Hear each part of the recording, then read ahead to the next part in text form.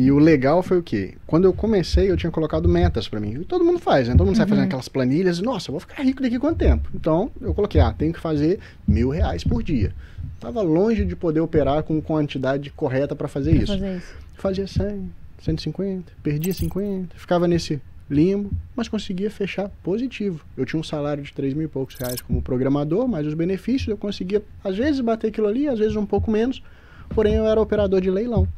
Eu operava literalmente, a 8h55 estava ali analisando, 9h10 eu já tinha parado de operar. O que, que eu fazia? Praia. Chegou um momento que não tinha mais sentido. Eu juro, por Deus, isso é real e as pessoas vivenciaram ali comigo no escritório.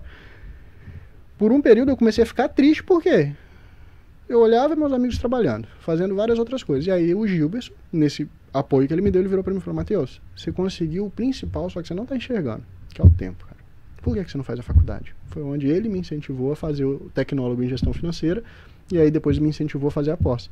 E aí sim foi começando a virar cada vez mais a minha cabeça para o que é realmente o mercado financeiro, entendendo um contexto muito maior. E sim, faz muita diferença o apoio de alguém assim do nosso lado. E quando a pessoa está estudando sozinha em casa, não tem alguém da família dando apoio, e isso é muito comum. Eu tenho muitos alunos que falam comigo, pô, Matheus, eu sento ali meu pai fica na minha cabeça assim, nossa, isso é aposta, vai dar errado. No subconsciente desse cara, já está acabado. Se o cara não for muito forte em entender que ele é ele e o pensamento do outro é outro, esse cara, ele já caiu naquele momento ali. Então, se você está assistindo isso daqui e tem o hábito, às vezes, de não incentivar alguém nesse sentido, não faça, porque isso vai derrubar a pessoa. Ou operar com uma outra pessoa do lado e a pessoa ficar, às vezes, querendo competir muito com você. Isso vai te atrapalhar. Eu já tive problema assim com ex-sócio meu. Às vezes eu fazia, aí eu zoava ele, aí ele zoava.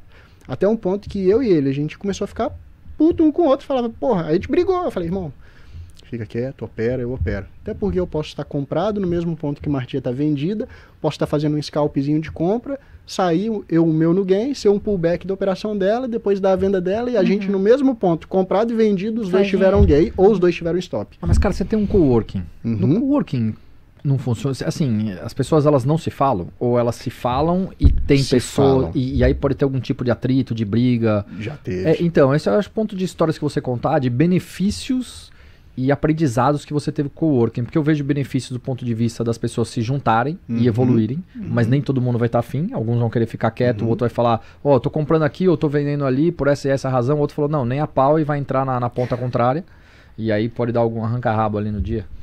Eu sempre tento separar o cara que está iniciando nesse sentido com o cara já mais experiente. Se eu Ainda tenho tem alguém isso, muito né? Tem o mais tempo de, de, é. de trade.